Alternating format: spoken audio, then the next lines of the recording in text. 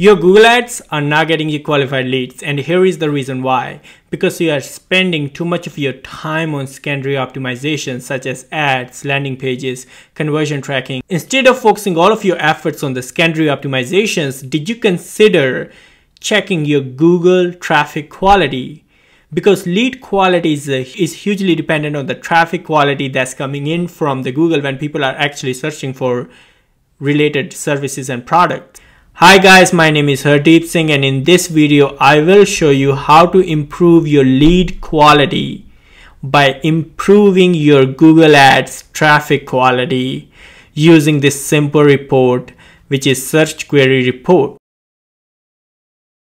Okay, let's just dive in without wasting any time. In this account I have four campaigns and I'll select the first campaign which is GS Global Main in this campaign, I have three ad groups. And within each ad group, I have multiple keywords. You can see these are all the keywords that I have in this campaign. I'll select all the keywords and then I will hit the edit button. I'll show you another video. But first, but first step I want you to do in terms of your optimization is I want you to hit the search terms. And this is the first step you need to do. These are all the terms that people are actually plugging in the Google search engine to find for related product and services. And our goal is to improve the quality of these search terms by adding positive and negative keywords. So this is the first step for you optimizing your campaigns. If you are not doing this, then focusing on other areas may not be helpful. So here, I'm um, the first step I'm doing, I'm adding negative keywords to the account. For example, I don't want to show up my ads for MFA VPN exact match keyword. And I'm adding the negative keyword uh, at the campaign level. You can toggle between ad group campaign and negative keyword list. So here I would add this negative keyword, which is a search query that I don't want to show up my ad on. Um, you can add the negative keyword as phrase match or exact match. Here in this case, I want to add it as an exact match.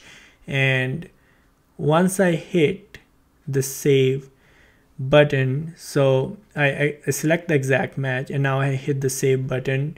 Um, once you select the save button I'll quickly show you how the added and exclude columns will show. So I hit the save button and you can see now it's excluded. That specific search query my ad will not show up on and this is the first optimization step and I will call it improving the quality of the traffic that's coming in. So this is another example where I'm selecting adding another negative keyword. Like, let me show you how many keywords search queries these are. There are a total of 110 search queries for my keywords for the time frame I'm selecting that's a lot of search query. And in your case if you select a month of data it might be 500 it might be a thousand. So a mistake that i usually see people want to do negative keywords for all the search queries and that's what kills most of the time. Let me say we can work smarter than harder and for example here you can download all the keywords and you're good to go. You can start diving into the search queries. But how we work smart, we sort it by the number of impressions for each search query. And here I'm using a filter for impressions greater than one.